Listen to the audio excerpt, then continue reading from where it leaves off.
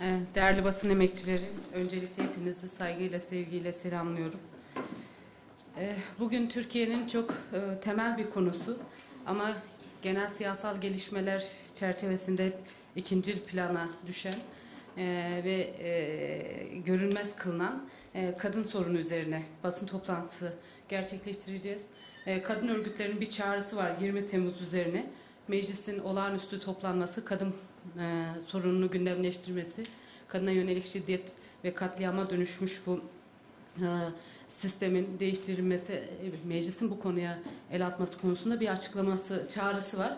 Hem o çağrıya burada ses olmak, aslında bunu e, Türkiye gündemine yeniden taşımak açısından bugün bu basın toplantısını düzenliyoruz. Değerli e, basın emekçileri, e, kadına yönelik şiddet politik bir mesele. Kadın ölümleri e, aslında erkek egemen sistemin ortaya çıkarttığı e, bir sonuç. E, Türkiye'de de ne yazık ki hep bu sonuçla ilgileniyor. Bu parlamentoda çok önemli yasalar çıkarttık. Hatırlarsanız İstanbul Sözleşmesi, kadına yönelik şiddetin önlenmesine dair kanun, e, yine dönem dönem e, çocuklara yönelik istismar, kadına yönelik şiddet konusunda gündeme geldi. Yasalar da çıkartıldı ama bu yasalar e, ne yazık ki kadınların ölümünü engelleyemedi. Daha dün Şırnak'ta kadınlar kimsesiz bir kadının kim tarafından öldürüldüğü bilinmeyen bir kadının tabutunu e, taşıdılar. E, ona e, yeniden işte mezara e, gömmek zorunda kaldılar. Biz bunun kadınlar açısından bir kader olmadığının altını çizmek istiyoruz.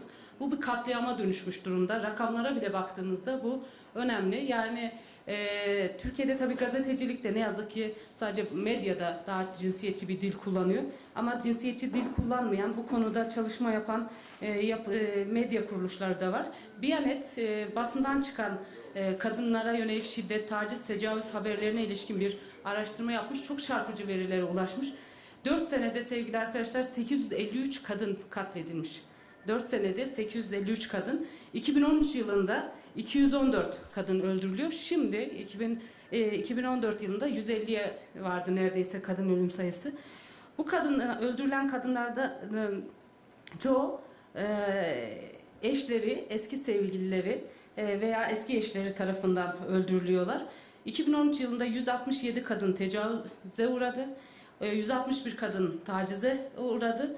Ee, ve son 4 yılda dediğim gibi 853 tane kadın cinayeti işlendi. Rakamlara baktığınızda aslında her yıl bu rakamlar artıyor. 2010'da 217 kadın, 2011'de 252 kadın, 2012'de 165 kadın, 2013'te 214 kadın erkekler tarafından katledildi. Erkekler tarafından öldürüldü.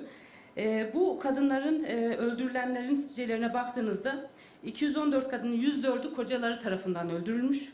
12'si eski kocaları tarafından, 25'i sevgilileri, 6'sı eski sevgilileri, 10'u babaları, 9'u damatları, 18'i de başka akrabaları tarafından. Dikkat ederseniz aslında e, AKP hükümetinin bu aile diye kurumsallaştırdığı, kurumsallaştırdığı e, mekanizma kadınlar için ölüm mekanizmasına dönüşmüş durumda. O yüzden biz bu e, Kadın Bakanlığı'nın kaldırıldığı dönemde buna çok itiraz etmiştik. Ailenin korunması, mesela en son şiddet yasası çıkartıldığında ailenin korunması ve şiddetin önlenmesi yasası ifade edildi. Önce aileyi korumak diye ifade edilince bu aileyi korumak adına, namus adına kad erkekler kadınları öldürmeye, katletmeye devam ediyor. Bunun bir kader olmadığının altını bir kez daha çizmek istiyoruz. Kadınlar bunun için ses çıkarıyor. Bunun için sokağa çıkacak. Tabii bunun temel nedeni aslında gider, giderek artan AKP'nin neoliberal politikaların saldırıları, e, dünyada e, gelişen e, muhafazakar milliyetçi yaklaşım. Yani bu sadece Türkiye'nin meselesi değil. Kadınlara yönelik ideolojik bir saldırı var. Kadınlar da bu ideolojik saldırıya karşı örgütlü mücadeleyi yükseltiyorlar. Değerli arkadaşlar bakın yanı başımızda Musul'da, Musul'un işgali sırasında IŞİD ilk yaptığı iş bildirgesinde kadınları eve kapatmak bildirgesi oldu. Ee, Haram örgütüne baktığınızda ilk kız çocuklarını kaçırdı. Savaş dönemlerinde kadınlara yönelik şiddet, taciz, tecavüz çok daha fazla artıyor ve ilk aslında kadın bedeni bir savaş, savaş alanı olarak değerlendiriliyor. Ee, savaş çatışma dönemlerinde kadınlara yönelik şiddet çok daha fazla artıyor. Aslında ülkemizde de son 30-40 yılda yaşanan savaşın, çatışmanın e, sonucu da kadınlara yönelik bir şiddet olarak de e, gelişiyor. E, çünkü bu savaş politikaları erkekliği kutsuyor ve erkeklik üzerinden kadınlar her gün biraz daha baskıyla, saldırıyla karşı karşıya kalıyor. Biz Halkların Demokratik Partisi olarak, Halkların Demokratik Kongresi olarak kadınlara yönelik bu katliamlara karşı sessiz kalmadığımızı, bunun temel gündemi olduğunu, Türkiye'nin gündemi ne olursa olsun, ister Cumhurbaşkanlığı seçimi, ister işte mecliste görüşülen torba yasa olsun, asıl gündemin aslında kadınların yaşam hakkının ihlal edildiğinin altını çizmek istiyoruz. Değerli basın emekçileri bu konuda ee, başta da belirttiğim gibi aslında kadın örgütlerinin kadınların sesini duyurmak için bu toplantıyı aldığımızı ifade etmiştim. Kadınların bir çağrısı var. İzin verirseniz bu çağrıyı okumak istiyorum. Kadınlar bu çağrıyla 20 Temmuz'da bütün kadınları sokağa davet ediyor. Meclis olağanüstü toplansın. Her hafta kocası, babası, erkek kardeşi, oğlu, boşanmak, ayrılmak istediği kocası veya sevgilisi, müşterisi tarafından öldürülen kadınların ve trans e, kadınların haberlerini duyuyoruz. Kadınlar her gün kendi hayatları hakkında karar vermek isterken erkekler tarafından öldürülüyor. Bu cinayetlerin sürekliliği, cinayetleri durdurmayan, gereken önlemleri almayan, devletin eril yapısını gözler önüne seriyor. Hukuk sistemiyle cinayetler meşrulaştırılıyor, teşvik ediliyor. Yaşadığımız erkek şiddeti cezasız kalırken, aileye mecbur bırakıldığımız politikalar oluşturulurken biz kadınlar her gün öldürülüyoruz. İki gün içinde altı erkek e, kadınlar tarafından öldürülseydi devlet refleksi harekete geçerdi. Hükümetin olağanüstü tedbirler alması belirlenirdi. Ama mesele kadınlar olunca hiç bunlar gündeme gelmiyor. Türkiye'de her gün kadınlar öldürülüyor. Ve biz soruyoruz. İki gün içinde altı kadın cinayeti işlenmişken kadın cinayetleri evde, iş yerinde, sokakta, her yerde, özel ve kamusal alanda her an yaşa yaşamımızı tehdit eder hale gelmişken meclis nerede? Meclis olağanüstü toplansın. Kadın cinayetlerine karşı isyanımızı haykırmak için ev işi, sokak bakımın, e, bakımı dayatmalarına kulak asmadan sokaklara çıkıyoruz. Meclisin olağanüstü toplanması için ses çıkarıyoruz. Siz aile aile dedikçe kadınlar öldürülüyor. Siz ses çıkarmadıkça kadın cinayetleri meşrulaşıyor. Siz haksız tarih dedikçe hayatımız tehlikeye giriyor. Ailenin korunmasına dair değerleriniz boş, kadın bedenini denetleyen, tahakküm altına alınan politikalarınız ve erkek şiddetiyle mücadele ediyormuş gibi yapan söylemleriniz erkek şiddetine arka çıkıyor. Şiddet uygulayan erkekleri koruyor ve kolluyor. Devlet kadın cinayetlerinden sorumludur. Kadınlara ilişkin nadiren konuşurken gördüğümüz Aile Bakanı Ayşenur İslam erkek şiddet konusunda konuşmuyor. Konuştuğunda ise kadın cinayetlerini normalleştiren bir dil kullanıyor. Kadınlar koruma altındayken öldürülmüyor diyen Aile Bakanı 6284 sayılı yasada habersiz olduğu gibi aynı zamanda kadın cinayetleri açısından bakanlığın bakanlığını temize çekme çalışan bir temize çekmeye çalışan bir söylemi geliştiriyor. Bir sözümüz var Aile Bakanlığı'na. Devlet kadın cinayetlerini gündeme almayan ve etkili mücadele yöntemleri kurmayan yasama ve yürütmesiyle haksız tahrik indirimleriyle erkekleri teşvik, erkeklere teşvikler sunan yargısı ile kadın cinayetlerinden sorumludur. Hükümet kadın cinayetlerinden sorumludur. Hükümetin büyük reklam çalışmaları ile yürüttüğü, yürürlüğe koyduğu 6284 sayılı yasa kağıt üzerinde kaldı. İstanbul Sözleşmesi'nin ilk imzacısı olmakla övüne dursunlar, kadınlar öldürülmesi karşısında ne kadar siyasi irade yoksunu olduklarını gördük. Mekanizmaları, mekanizmalara hala kurulmamış cinsiyetçi cinsiyetçileştirilmiş 6284 sayılı yasa şiddete karşı koruma ve önleme talep eden kadınların talepleri karşısında gereği gibi inceleme ve değerlendirme yapmayan mahkemeler tarafından kopyalama yapıştır kararlarla uygulanıyor. Erkek şiddetine karşı etkili yöntemler ile mücadele etmeyen sistem şiddete, şiddetle cinayetin ne ilgisi var diyen erkek egemen yargı mercilerine şunu söylüyoruz. Kadın cinayetleri bir tokatla aşağılamakla başlıyor. Ailenin kadında öne önce geldiği, kadın yerine ailenin ikame edildiği bir anlayış aile e, merkezlerinden aile avukatlarına, aile hekimlerine kadar herkes tarafından bize dayatılmak isteniyor. Kadınların içinde örüldüğü, şiddet e, şiddet gördüğü, emeğinin sömürüldüğü, dışına e, dışına çıkmak istediğinde öldürüldüğü aile devletin erkek egemenliğinin yansıması olarak bir devlet kurumu olarak işliyor.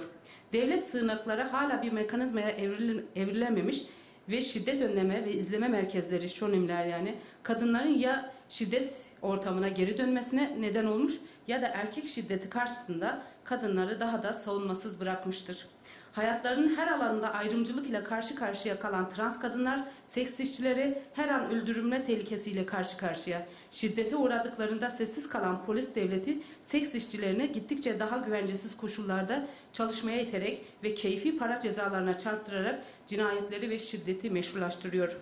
Bugüne kadar kadın cinayetlerini e, istatistiksel bilgiye sığdırmaya çalışan devleti göreve çağırıyoruz. Meclis Meclisin kadın ve trans cinayetleri gündemiyle olağanüstü toplanması ve bu toplantıda kadın örgütlerinin belirlediği cinayetleri önleyebilecek temel şartları doğrultusunda acil bir eylem planı oluşturmaya oluşturmayı da, e, talep ediyoruz. Biliyoruz ki biz kadınlar bir araya gelebilirsek cinayetleri önleyebiliriz. Bu yüzden Meclis Kadın ve Trans Cinayetleri gündemiyle olağanüstü toplanana kadar sokakları boş bırakmıyoruz. 20 Temmuz'da kadın cinayetlerine karşı isyanımızı haykırmak için ev, ev işi, sokak bakımı, e, çocuk bakımı dayatmalarına da kulak asmadan sokaklara çıkıyoruz. Herkesi de olduğu yerde sokaklara çıkmaya çağırıyoruz. Meclisin olağanüstü toplanması için ses çıkarıyoruz diyen kadınların çağrısı var. Değerli basın emekçileri bu çağrı çok önemli ve anlamlı bir çağrı. Aslında kadın yöne, kadına yönelik şiddetin nereden kaynaklandığını da çok net ifade eden bir e, çağrı. Biz Halkların Demokratik Partisi olarak kadınların bu çağrısına kulak veriyoruz ve buradan bir kez daha biz de özellikle AKP hükümetini, CHP'yi, MHP'yi kadınların bu seslerine, özellikle kadın milletvekillerine bu seslerine ses vermelerini ve meclisi olağanüstü toplantıya çağırmaları bu gündemli, sadece kadın gündemli bir toplantıya çağırmalarını bu konuda da kadın örgütleriyle ortaklaşmalarının önemli olduğunu bir kez daha altını çiziyoruz. Ölmek bizim kaderimiz değil sevgili arkadaşlar. Bunu mutlaka değiştirmek e, zorundayız. Bunun değişmesi için de kadınların örgütlü mücadelesini geliştirmek gerekiyor. Bu konuda özellikle kadınların bildirgesinde altını çizilen, şey artık biz kadınların çetelesini tutmak istemiyoruz. Kaç tane kadın öldü, kaç tane kadın öldürüldü, kim tarafından öldürüldü, e, tacize uğradı, tecavüze uğradığının çetelesini tutmak istemiyoruz. Biz özgür, eşit bir yaşam istiyoruz. O yüzden de Türkiye Büyük Millet Meclisi eğer gerçekten bütün yurttaşların e, meclisi ise Türkiye nüfusunun %50'sini oluşturan kadınların da gündemini kendi gündemi olarak almak durumunda. Sadece kadınlar değil aslında erkekler tartışmak durumunda. Çünkü bu dili kullanan, nefret söylemini kullanan, ayrımcılık uygulayan, kadınlara yönelik şiddeti meşrulaştıran dil tam da erkeklerin dili. Özellikle Başbakan Erdoğan'ın dili sürekli kadının beden üzerinden yaptığı politikalar 3 çocuk yapın, olmadı 5 çocuk yapın, kadın ve erkek eşit değildir söylemleri bunun göstergesi. Hatta parlamentoda bile bunu görüyoruz. Daha dün meclisi yönetirken Sayın Meral Akşener e, meclis yönettiğinde orada erkek milletvekilleri bir emir kipiyle sürekli konuşuyor. Şöyle yap, böyle yap. Çünkü kadınların bir irade olduğunu gören bir yaklaşım yok. Bu meclisin kendisi erkek egemen zihniyetle e, zihniyeti temsil eden bir yer. Dolayısıyla buranın değişmesi gerekiyor. Burası değişmediği sürece biz kadınların tabutlarını taşımaya devam edeceğiz. Ama biz kadınların tabutlarını taşımak istemiyoruz. E, bir kez daha Halkların Demokratik Partisi olarak 20 Temmuz'da kadınların yapacağı bu eylemde onların yanında olacağımızı ve tüm kadınları da e, bu eylemlere katkı sunmaya, e, ses vermeye çağırıyoruz. Meclisi de kadınların talebi olan meclis olağanüstü toplansın talebine kendi cephemizden olumlu yanıt veriyoruz. CHP, MHP ve AKP'li kadın vekillerinde buna olumlu yanıt vermelerini ve e, gruplarını bu konuda partilerini ikna ederek e, meclise olağanüstü toplantıya ikna etmeleri çağrılarında bulunuyoruz. E, ben teşekkür ediyorum. Eğer varsa sorularınızı alalım. Meclis Adalet Komisyonu'nda e, avukatların ve sanıkların soruşturma dosyasına ulaşmasının engellenmesi için bir kanun teklifi görüşüldü. Biliyorsunuz torba kanunda da vardı ama tepkiler üzerine geri çekildi. Nasıl değerlendiriyorsunuz zamanını? Ee, Türkiye'de e, değerli basın emekçileri en temel konulardan birisi aslında e, adalet mekanizmasının artık bozulmuş olması, adalet ter- terazisinin bozulmuş olması. Hep dikkat ederseniz adalet olduğunda o terazi gösterilir ama o terazinin kefesi artık bozuk.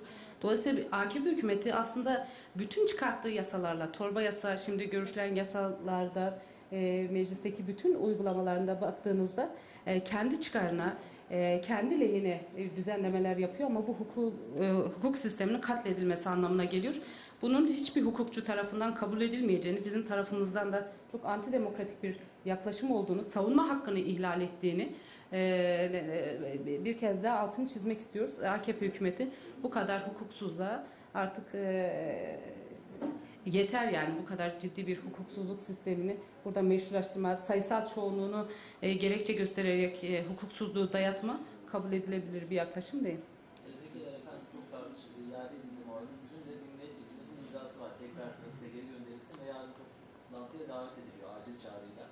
Ee, malum biliyorsunuz Hakkı Köyü'nün tavrına soruşturma süreciyle savcılar iade etmişti. Bununla ilgili partinizin tavrı nasıl olacak? İmza verdiniz. Artık e, bakanlarla ilgili iddialar e, bir anlamda hemen meclis gündemine gelsin mi istiyorsunuz? E, imza verdiysek bunun e, anlamı budur. E, değerli arkadaşlar tabii Türkiye'de yani özellikle e, de- hükümetin e, de- yaptığı işlerin denetlenmesi önemli bir konu. Yani 17 Aralık 25 e, Aralık'ta ortaya çıkan durum çok vahim bir durumdu ve e, AKP hükümeti bunun hesabını vermek durumunda.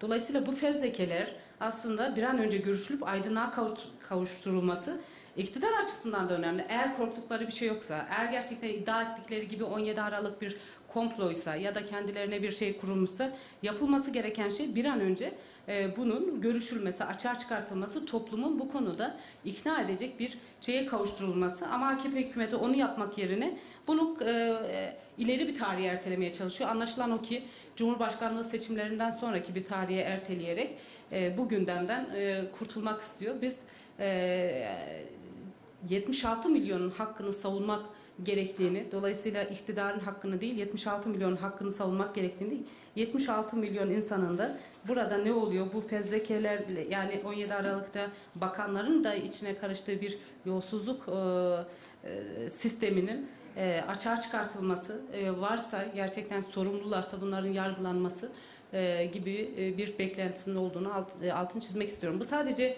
çünkü şöyle bir yanlış algılama var. AKP iktidar sanki kendi tabanında böyle bir beklenti yokmuş gibi aslında kendi tabanında böyle bir beklentisinin olduğunu biliyoruz.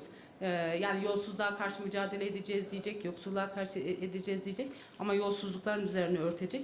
Bu hiç kabul edilebilir bir durum değil. Efendim, eee, bugün partimizden gelen bir açıklama vardı. Uludere ile ilgili yarın Anayasa Mahkemesi'ne başvuru Baş- avukatlar başvuru yapacak, doğru. ikinci sorumda Hüseyin Çelik'in AK Parti sözcüsü Hüseyin Hmm. Çelik'in eee, TRT'nin yayınlarına yönelik astroliste taverna sanatçısı bir olur mu gibi bir yapıştırması oldu. Hmm. Cumhurbaşkanı adaylarına yönelik. Bu konuda da neler düşünüyorsunuz? Önce ikinci sorunuza cevap vereyim. Hüseyin Çelik'in çapı bu kadar yani. Ee, onda bir çap sorunu olduğu ortada. Ama anlaşılan o ki e, Cumhurbaşkanı adayımız e, Sayın Selahattin Demirtaş e, AKP iktidarını korkutmuş durumda. Yani e, CHP, MHP'nin çatı adayı Ekmenettin İhsanoğlu karşısında değil, Halkların Demokratik Partisi adayı karşısında zorlanan AKP iktidarının sözcüleri bu tip söylemlerle aslında ne kadar korktuklarını ifade ediyor.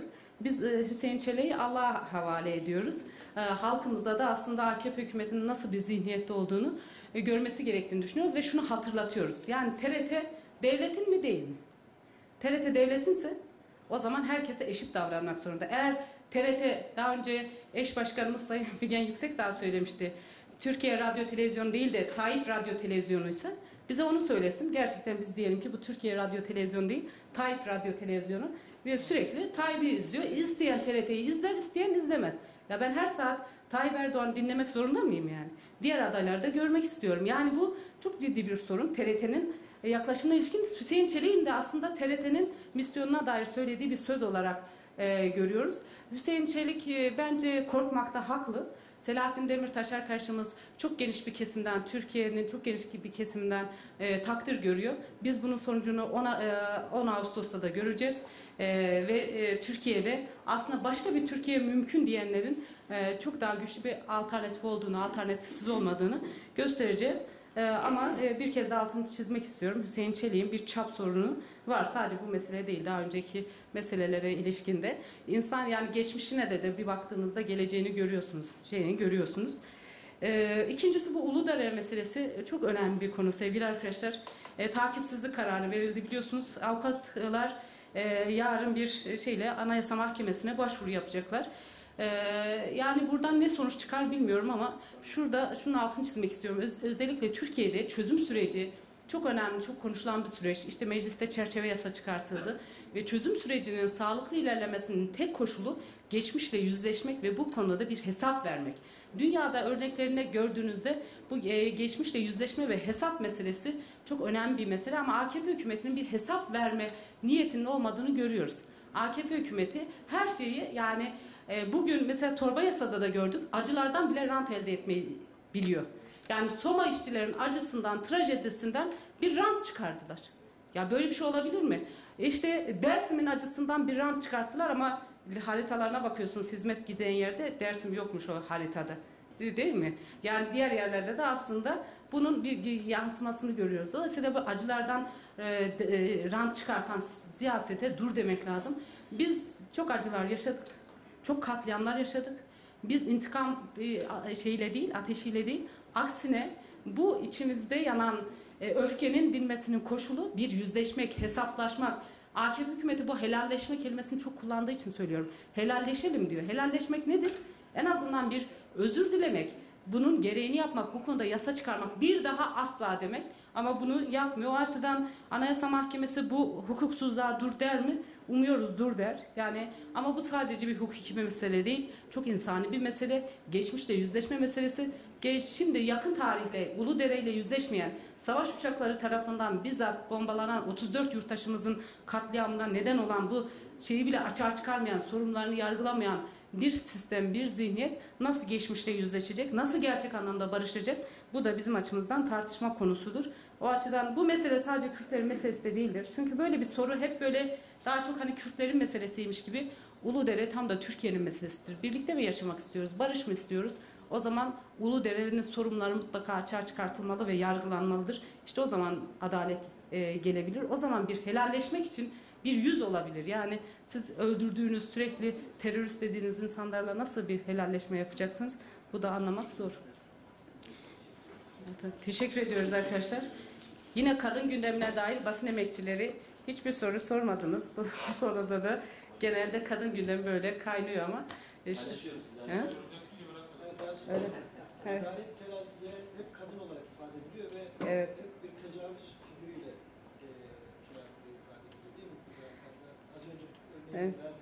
Doğru. E, tabii e, aslında dünyanın ilk dengesizliğinin bozduğu, eşitsizliğin bozulduğu yer kadınla erkek arasındaki dengedir. Biz kadınlar, kadın örgütleri, feminist örgütler bunun geçmişiyle bittiği yerde başlıyoruz. 5000 yıllık erkek egemen sistem tam da buradan şey yapmış ve bu bir tecavüz kültürü aslında sadece kadın bedeni üzerinden değil, bugün geliştirilen kültürün temeli de orada görüyoruz. Dolayısıyla kadınların buna karşı itirazı yetmez. Erkeklerin de buna itiraz etmesi gerekiyor. Bir dönem erkekler eylem yapmıştı biz erkek değiliz e, diye. Yani aslında erkeklik olgusunu sorgulayan e, bir noktadan bakmak gerekiyor. Çünkü kadınlık ve erkeklik sonradan öğretilen bir şey bize. Yani bu kültür kadınlık ve erkeklik rolleri sürekli üretiliyor, aile içerisinde üretiliyor. Buna karşı yeni bir sistem geliştirmek gerekiyor. Bunun için de erkeklerin o mevcut erkekliklerinden kendilerine avantaj sağladığını düşündüğü erkekliklerinden vazgeçmesi daha eşit, daha özgürlükçü bir toplum açısından önemli ama kadınların da klasik kadınlıklarından vazgeçmesi gerekiyor. Eşit özgür yurttaşlık talebi kadınların da talebidir. Sadece toplumsal e, kimliklerin talebi değil. Ben teşekkür ediyorum arkadaşlar.